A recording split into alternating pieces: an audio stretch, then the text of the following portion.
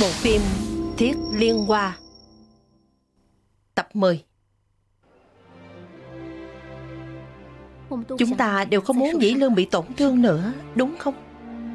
Nhà Lâm chỉ có một mình huynh ấy. Tỷ không thể thành thân với huynh ấy. Muội đi đi. Thủy Liên tỷ. Thôi được rồi. Trước đây muội không nói Là sợ tiết lộ sự việc Sẽ làm hỏng chuyện. Không. Tỷ cảm ơn muội. Thật đấy. Tỷ không thể sống chung với Dĩ Lương. Đó là vì tốt cho huynh ấy Tốt cho bá phụ, bá mẫu. Tỷ. Không đi với muội thật sao?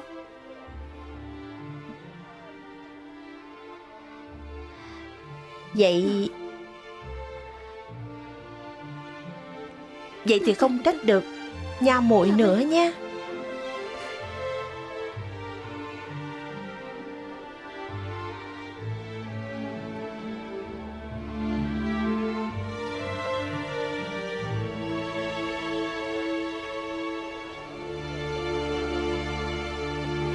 Nha muội Nha muội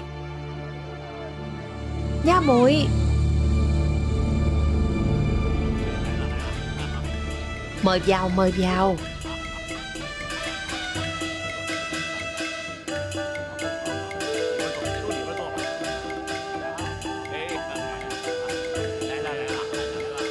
Mời vào mời vào. Mời ngồi mời ngồi.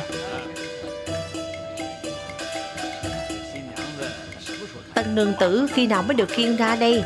Sẽ đến ngay, sẽ đến ngay. Xuân Phương huynh đệ Suya Nói sao đây Tôi đã đến đầu thôn nhưng không thấy nha muội. Có phải nó Quỳnh nói con bé này đi đâu rồi chứ? Chắc nó không xảy ra chuyện gì chứ. Dở rồi. Tốt. Tuế tuế bình an.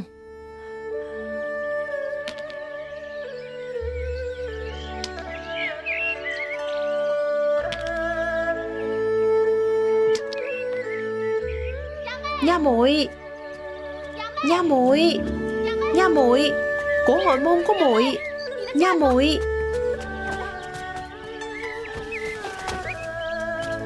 Dĩ lương ca muội đã đưa tân nương đến cho huynh rồi. Muội muội nói cái gì? Thủy liên. Nha muội. Đây là của hồi môn của muội. Dĩ lương ca. Huynh để thủy liên tỷ lên kiệu hoa đi. Lên kiệu hoa rồi là tỷ ấy sẽ là người của huynh. Vậy. Muội muội muội là muội muội của huynh mà Thủy Liên. Dĩ Lương, Hãy sống tốt với nha muội nha Thủy Liên tỷ Tỷ có hiểu không vậy? Người Dĩ Lương ca yêu mến chỉ có mỗi mình tỷ. Tỷ cũng yêu mến Dĩ Lương ca. Trong lòng tỷ tự hiểu, Cả bản thân mình còn không gạt được, Thì làm sao gạt người khác chứ? Tỷ đúng là không gạt được người khác nhưng muội gạt được người khác sao? Nhà muội muội yêu dĩ lương mà. Muội muội, Nhà muội, Mau thành thân đi. Thủy Liên tỷ, Trước giờ muội luôn xem tỷ là tỷ tỷ ruột. Xem dĩ lương ca là ca ca ruột. Ước nguyện lớn nhất trong đời muội chính là nhìn thấy hai người vui vẻ, hạnh phúc.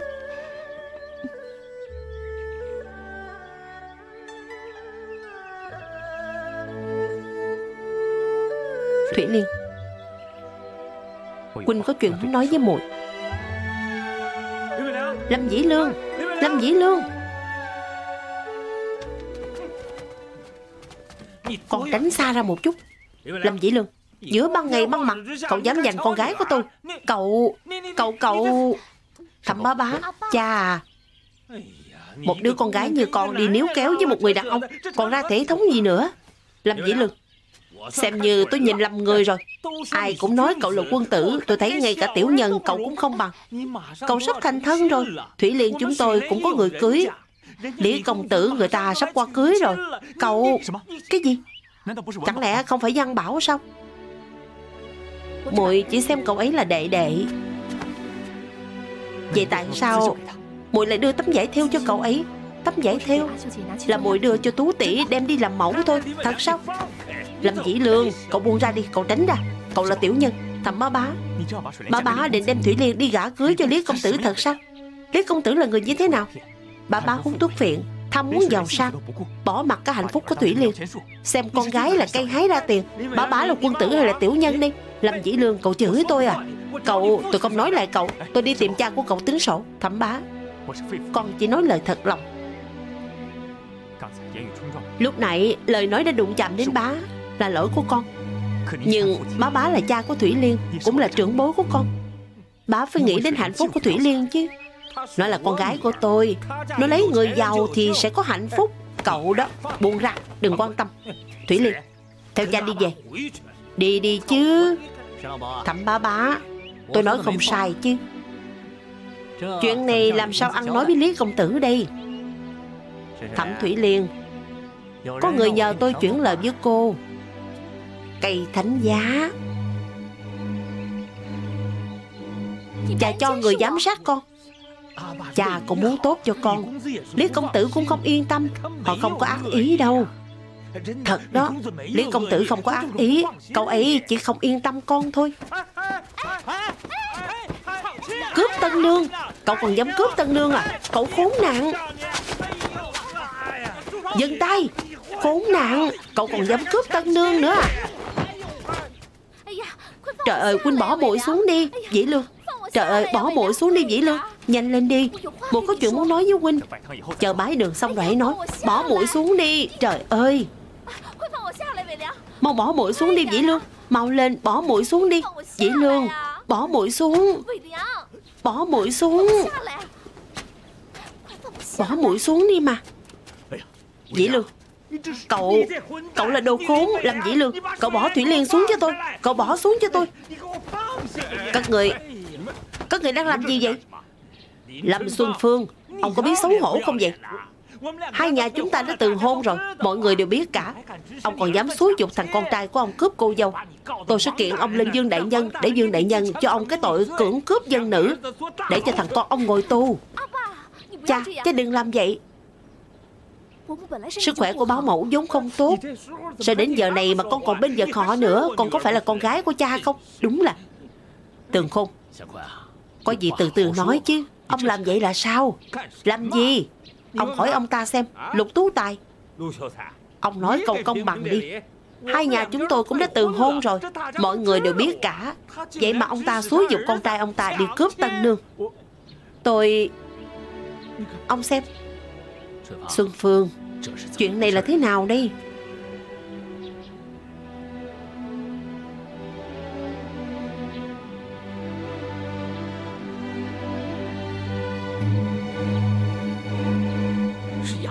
là nha muội.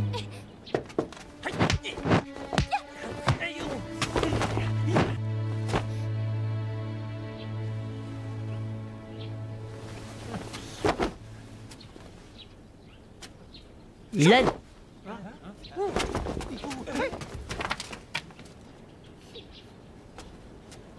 A phát. Ông thấy chuyện này Người tính không bằng trời tính. Chuyện của tụi nhỏ thì để tụi nó tự quyết định vậy.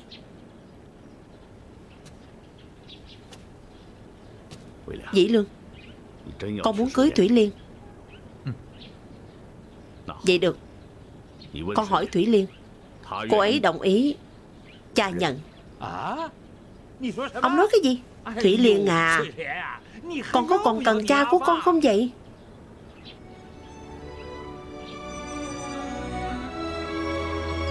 Thủy Liên. Muội nói gì đi?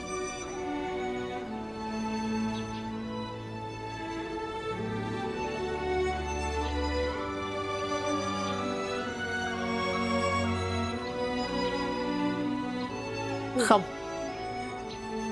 Sao?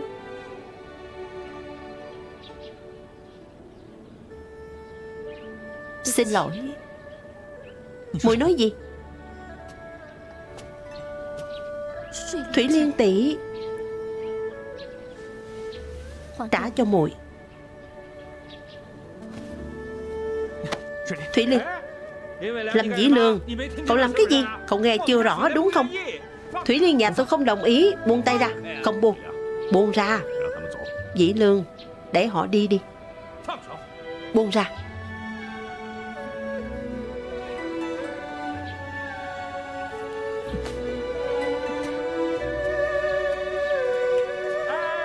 Vì hương thân đều nghe rõ rồi đó. Nhà thẩm chúng tôi đã có đứt quan hệ với nhà Lâm từ lâu rồi. Nếu như Lâm Dĩ Lương còn đến bám theo Thủy Liên chúng tôi Tôi sẽ kiện Lâm Xuân Phương xúi dục con phạm pháp.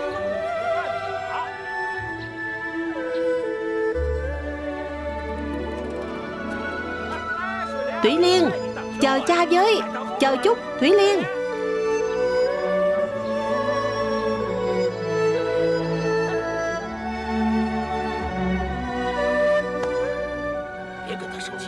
Xuân Phương, đừng tức giận nữa. Dĩ Lương Mẹ con đâu rồi?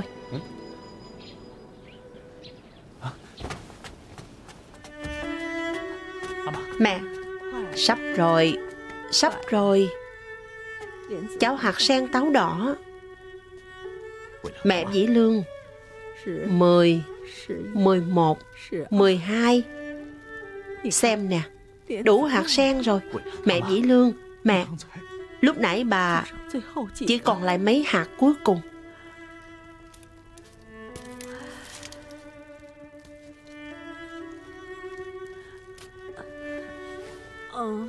Mẹ Mẹ Dĩ Lương.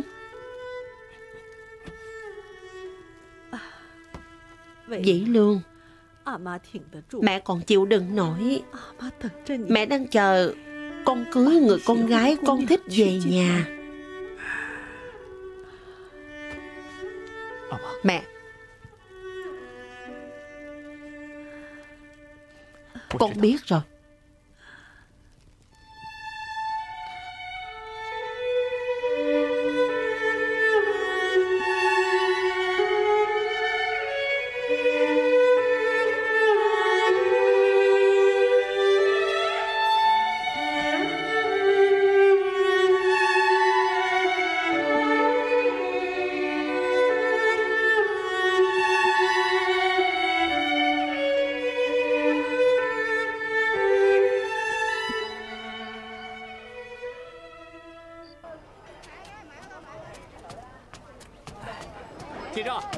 Ghi sổ 100 cân Được cá vàng 100 cân 100 cân 100 cân Được rồi.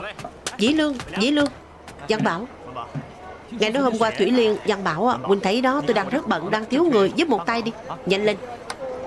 100 cân Được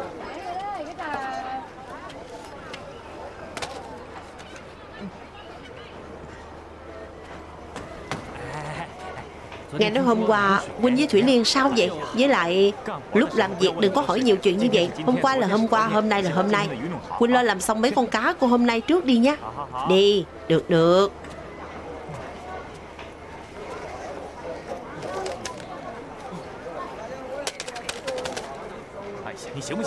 Huynh có làm được không? Được được được.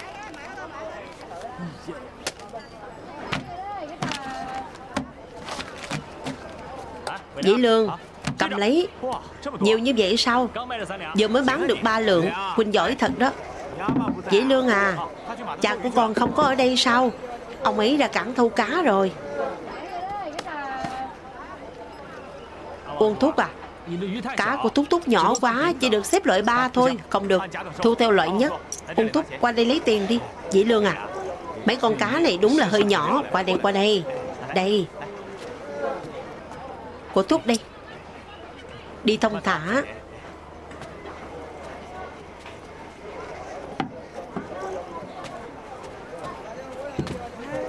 Dĩ Lương à Quỳnh cứ như vậy là sẽ lỗ nặng đấy. Quỳnh đó Đúng không phải là người biết làm ăn. Nghỉ chút đi. Nghỉ chút đi. Vậy thì tôi đi nghỉ chút nha.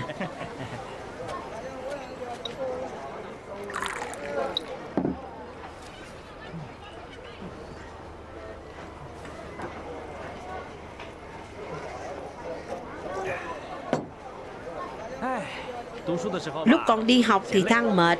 Đến khi làm mấy việc này thì đi học tốt hơn. Đến khi đi học Thì huynh lại nói là bán cá tốt hơn thôi.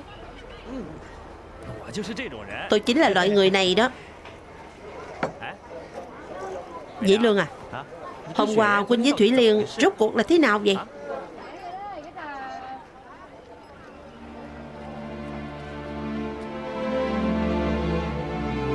Thủy Liên. Thủy Liên.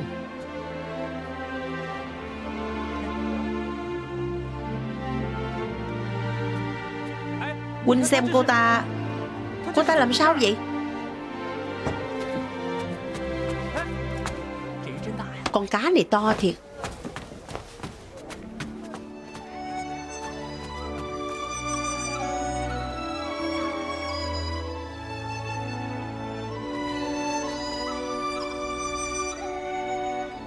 Thủy Liên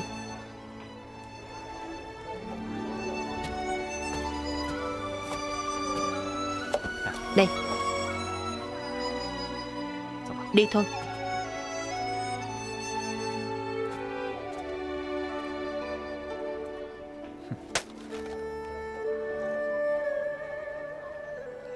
Tại sao? Đừng hỏi tại sao. Không được. Quỳnh phải hỏi cho ra lẽ Muội muốn lấy Lý công tử thật sao? Có những chuyện Huynh không hiểu được đâu.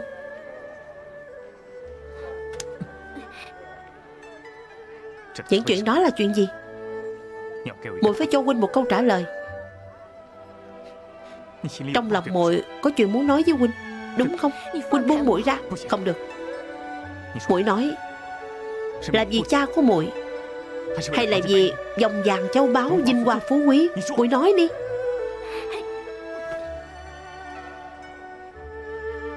Xin lỗi.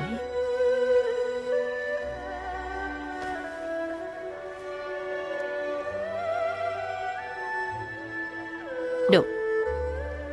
Vinh hoa phú quý. Được. Muội thấy Chúng ta nên ngồi xuống nói cho rõ ràng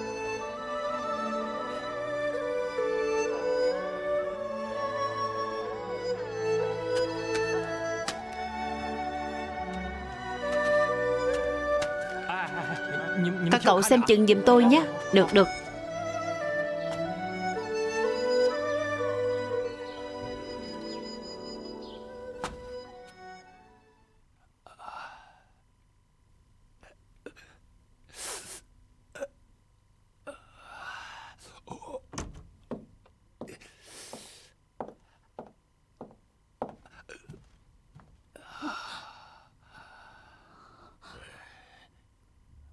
Có gì mà kinh ngạc chứ? Dấu vết còn lưu lại Trong rừng quốc gia Brazil các cô đấy. Khí hậu đáng chết. Có lẽ Anthony chữa được căn bệnh này. Cô nói gì? Anthony đã từng chữa khỏi căn bệnh này. Có lẽ Cậu ta giúp được ông.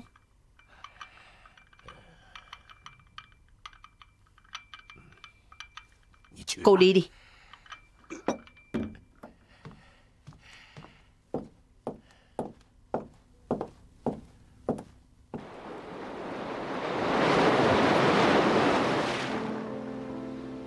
Chúng ta đều đã thay đổi. Phải. Trải qua biết bao sóng gió, Một ngày dài hơn trăm năm.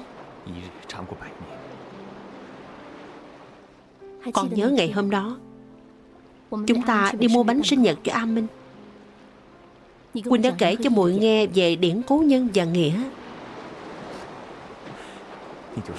Muội đã nói lại là hột dưa hột đào. Sau đó muội cứ luôn nghĩ khổng thánh nhân đã làm sao phân biệt được người nhân nghĩa đây thôi bỏ đi. Chúng ta đều không phải là trẻ con. Sau khi A Minh đi rồi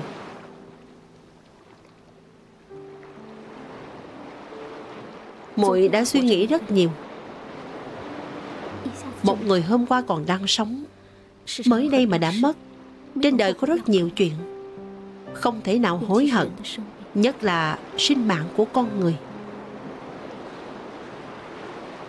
trước ngày sinh nhật của a minh đệ ấy còn nói với muội bảo muội theo cho nó một chiếc túi thơm. Nói là để sau này tặng cho bạn gái. Muội còn cười nó để còn bé quá để lớn lên rồi hãy nói.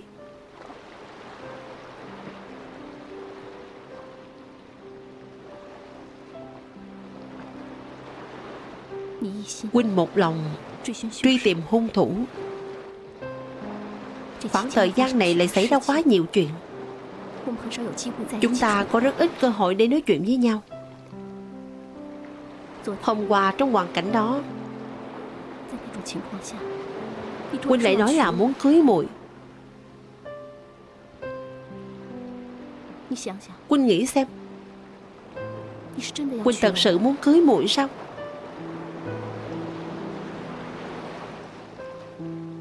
Hoàn cảnh lúc đó huynh vì muốn tốt cho muội sợ lý công tử làm tổn thương muội. Huynh huynh đúng là có nỗi lo đó nhưng mà nhưng có khi nào huynh nghĩ đến nếu chúng ta thật sự thành thân. Cha của muội như vậy thì làm sao cư xử với gia đình huynh đây Sức khỏe của báo mẫu vốn không tốt. Giả lại, Không cần biết cha muội đã làm sai đến đâu. Thì ông ấy vẫn là cha của muội. Huống hồ chi? Lý công tử có chịu bỏ qua dễ dàng không? Có phải muội sợ Lý công tử không? Muội không sợ. Nhưng đúng là hắn từng uy hiếp muội. Hắn uy hiếp muội cái gì? Quên đừng hỏi nữa. Huynh hãy nghĩ thử xem. Nếu như Huynh biết A Minh một đi không trở về Huynh có còn để cho nó đi gọi Vương Đại Nhân không? Sau này xảy ra chuyện gì Chúng ta không thể biết trước. Nhưng đối với chuyện có thể xảy ra Chúng ta không thể tiếp tục đâm đầu vào nữa.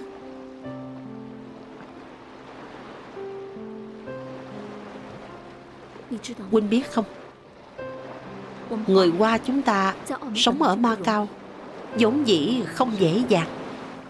Phải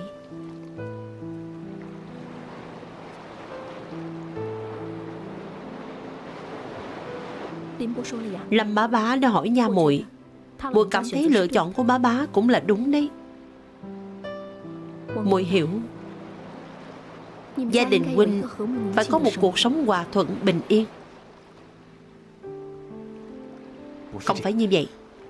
Muội phải biết huynh dĩ lương. Nha muội là một đứa con gái tốt.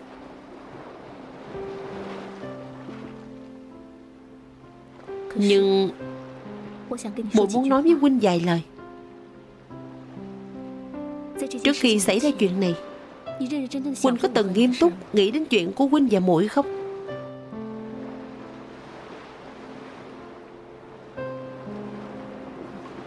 Tuy chúng ta đã có hôn ước từ trong bụng mẹ Nhưng e là không có duyên phận. Huynh cố gắng bảo trọng nha Thủy Liên.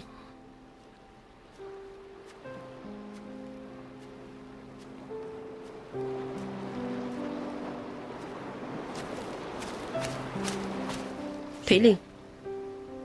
Hai người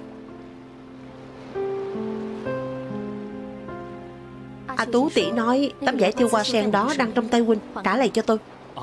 Tấm giải đó Huynh phải nghĩ dùm muội hai chữ muội xem trả cho tôi đi. Được được. Huynh nhất định gửi lại cho muội.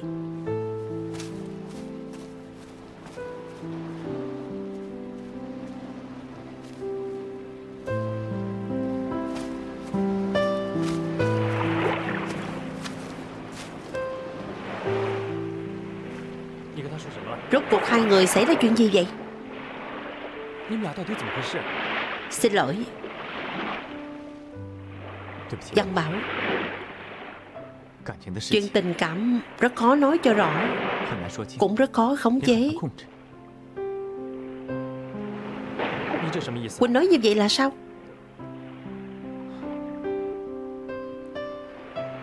Đã sống nửa đời người. Đọc biết bao nhiêu sách Nhưng lại phát hiện có rất nhiều điều mình không hiểu. Nhất là nội tâm của con người. Tưởng là người thân thuộc nhất. Nhưng lại không hiểu gì về người đó. Hay hiểu sai về người đó nhiều nhất. Bỏ lỡ rất nhiều chuyện. Tôi có rất nhiều chuyện muốn nói với Huynh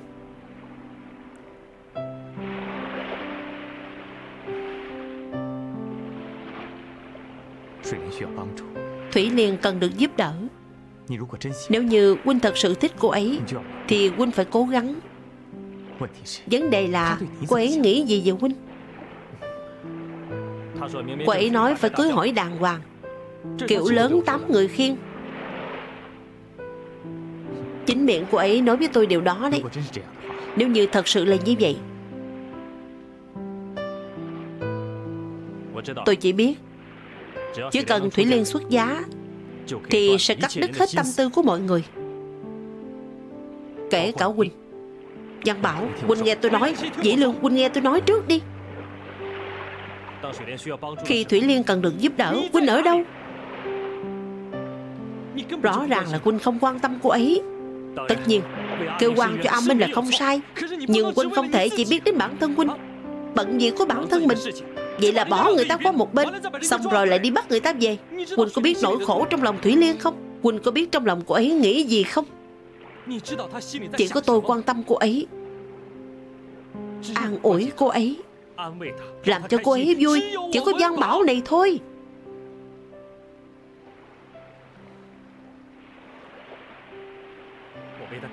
Tôi trong tiệm cho cô ấy. Giao hoa giùm cô ấy. Vì cô ấy. Tôi có thể bỏ ra tất cả vì cô ấy. Những điều đó Huynh có làm được không? Đúng. Tôi hiểu tâm tư của Huynh Nhưng mà Trước giờ tôi chưa bao giờ nghĩ sẽ như thế này. Nếu như Huynh xem tôi là huynh đệ Hãy hứa với tôi Giúp đỡ chuyện tôi và Thủy Liên Giúp làm sao? Rất đơn giản. Đừng bao giờ gặp cô ấy nữa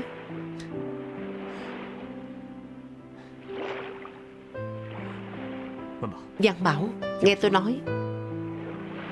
Nếu như người Thủy Liên chọn là Huynh Văn Bảo Tôi chúc phúc hai người. Thật đấy. Chúng ta cùng nhau lớn lên. Chúng ta là bạn thân. Những gì Huynh nói lúc nãy đều không sai. Tuy nhiên Cách làm này của Huynh Rõ ràng là không đúng đó không phải việc làm của người đàn ông. Được. Tôi biết phải làm thế nào.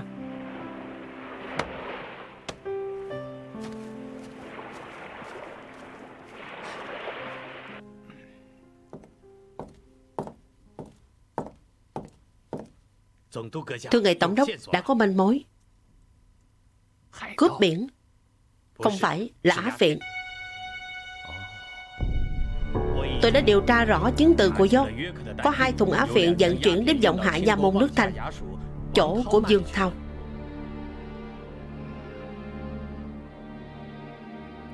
Tên Dương Đại Nhân đó, Tôi không hề kinh ngạc.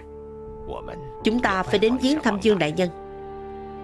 Tài chính trong nước đang khẩn cấp. Nữ hoàng đã gửi gắm hy vọng rất lớn vào chúng ta. Chúng ta phải nhanh chóng gom góp đủ tiền ở Macau. Đó là chuyện đại sự hàng đầu. Lô hàng Á Phiện đó nhất định phải tìm được.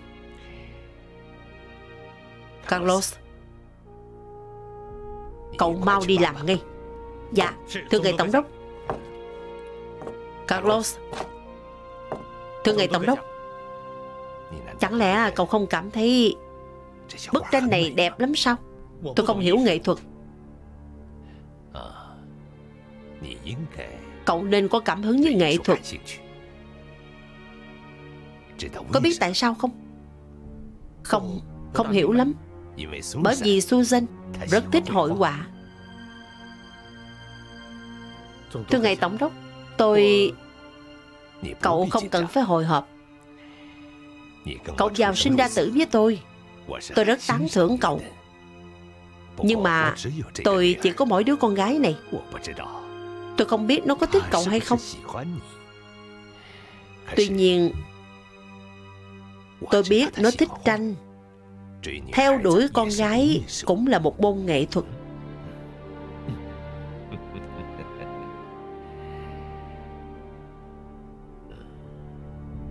Anthony. Phải đó. Đây là tranh của Anthony vẽ Vẽ khá lắm chứ, Không phải sao? Cuộc sống của nhà hội họa thiên tài này ra sao rồi? Trên căn bản, Bệnh sốt rét của binh sĩ đã được chữa khỏi. Tuy nhiên, cậu ta yêu cầu Được giam cùng một chỗ với cha của cậu ta. Cậu ta muốn được giam chung với cha cậu ta, Muốn bị giam trong nhà lao. Đúng là quá cảm động. Nhưng mà tôi cho rằng để cậu ta cô độc. Như vậy Sẽ càng có lợi cho việc tự kiểm điểm của Lores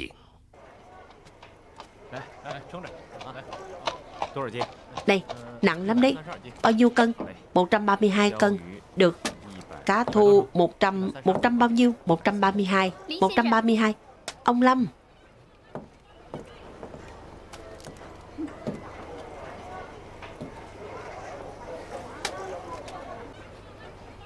Ông bán cá ở đây à? Tôi thật sự không ngờ. Cô tìm tôi có việc.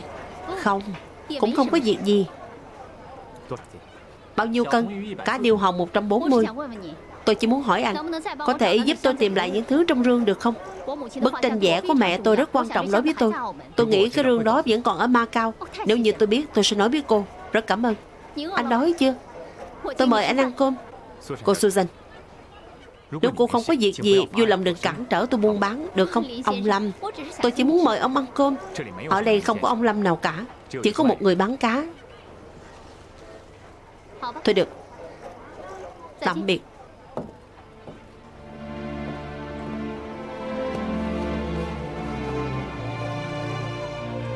Tôi sẽ đến tìm ông nữa đấy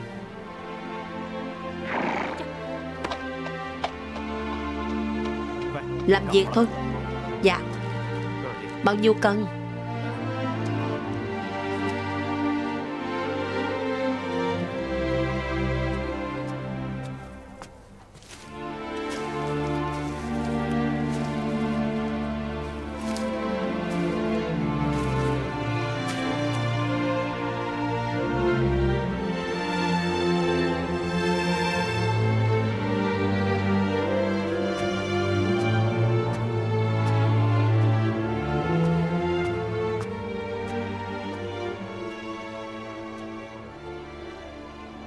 Nha muội. Muội đến bán hoa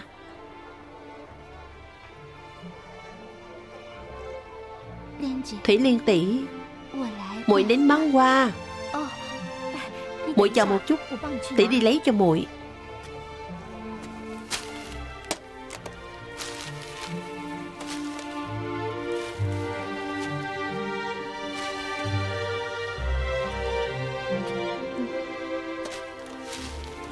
Nha muội. Cách xa bọn sai xỉn một chút.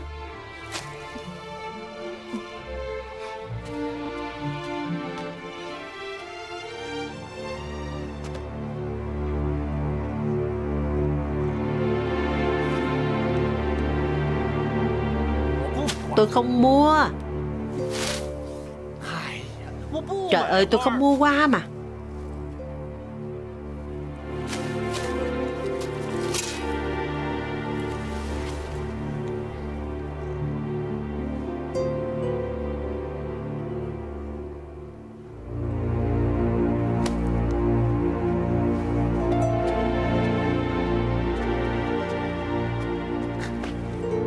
Cô đừng có đi theo tôi.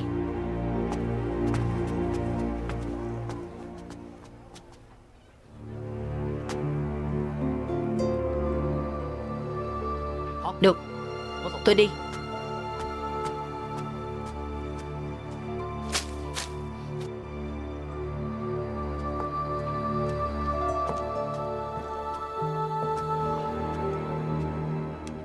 Xin chào cô nương.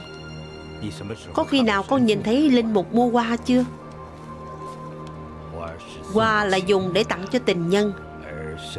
Mà Linh Mục lại là nô bộc của Chúa, Suốt đời hầu hạ Chúa. Hoa và Linh Mục Cũng như hai thế giới sống và chết, Không thể dung hòa vào nhau.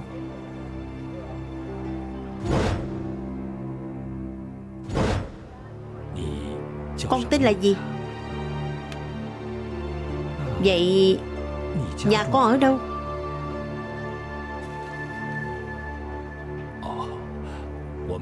Cha mua hoa thì con sẽ nói cho cha biết. Này.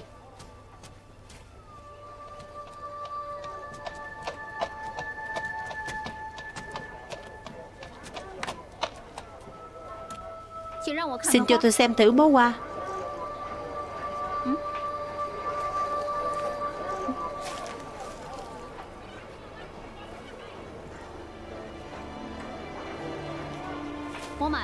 mua nó.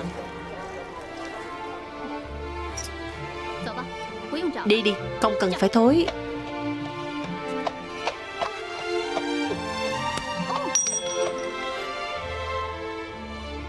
Sao vậy?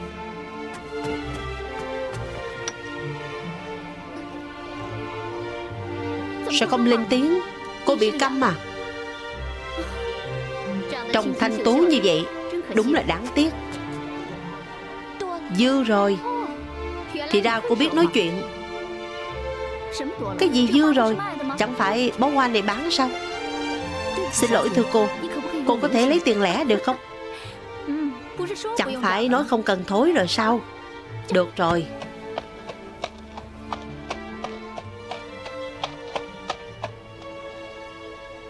Cô gái Trung Quốc, Trước đây chúng ta đã gặp nhau rồi. Cô xinh hơn trước đây nữa đó.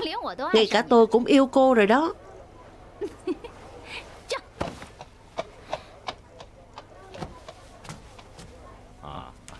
Được, được, được. Đều ở đây, cha biết rồi. Con đi ra ngoài một chút. Được rồi. Để ở đây đi. Được, được. Ông Lưu hả? Chơi, bỏ lên cân đi. Cân giùm ông ấy đi. Đây, anh bán cá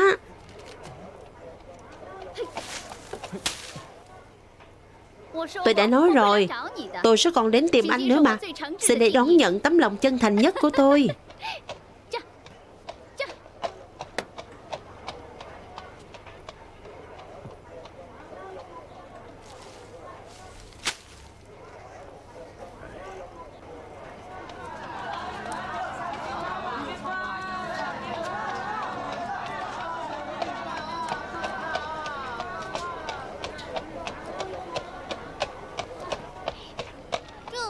Cái này là mình và Tâm thuốc nhặt về đấy.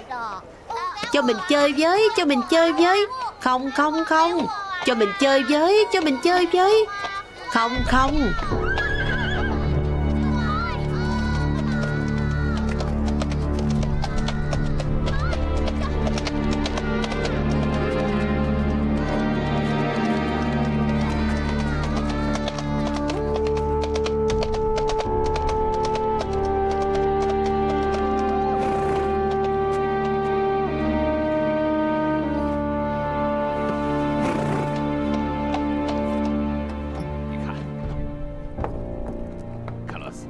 Xem, Carlos. Pháo đài này chúng ta cần phải mau chóng tu chỉnh lại. Dạ, cha Aden Rất vui được gặp lại cha. Tôi cũng vậy. Thưa ngài Tổng đốc, Nguyện xin Chúa ban ân lành cho ngài. Có chuyện gì không? Thưa ngài Tổng đốc, Vết thương của Loret càng ngày càng biến chuyển xấu. Phải xử trí thế nào đây? Ý của cậu thế nào? Nếu như Loret chết rồi Thì càng đỡ rắc rối. Cha xứ, cha thấy thế nào Ông Loret cũng là con chiên của Thiên Chúa. Chúa Giêsu nói, người được ban ơn lành là người có phước, vì họ đã được thương xót. Thưa Ngài Tổng đốc, tôi hy vọng Ngài theo ý chỉ của Chúa tha cho Loret một con đường sống. Người làm việc thiện nhất định sẽ được trả ơn. Tôi thì lại nghĩ đến lời của cha Costa. Lần này ông đến Macau chỉ là để ôm lại mộng cũ thôi sao? 18 năm trước đã xảy ra chuyện gì mà khiến cha từ một thủy thủ Anh lang thang trở thành người của Chúa? Đó, đó là tiếng gọi của Chúa. Được rồi, được rồi. Dù sao thì cha xứ Costa cũng đã chết rồi. Tôi không quan tâm chuyện quá khứ của cha. Tôi hy vọng cha có thể cứu rỗi linh hồn của mỗi con người. Cha đến tìm tôi có việc gì sao? Thưa Ngài, nhà thờ Austin cần phải tu sửa, hy vọng Tổng đốc chi trợ và ủng hộ. Chúa sẽ không bao giờ quên lòng trung thành của chúng ta đối với Ngài. Cha Aden, thông thường mà nói, đối với người của Chúa, tôi vô cùng tôn trọng. Cha biết đấy, người vợ quá cố của tôi là một con chiên thiên chúa ngoan đạo. Tuy tôi rất ghét người Anh, nhưng cha thì khác. Tôi xem cha như người bạn, nhưng yêu cầu của cha đưa ra thật không đúng lúc. Tôi chỉ có thể hứa với cha, khi nào có thể làm được, tôi sẽ ủng hộ hết mình. Chúc cha may mắn. Cảm ơn. Cũng chúc ngài may mắn.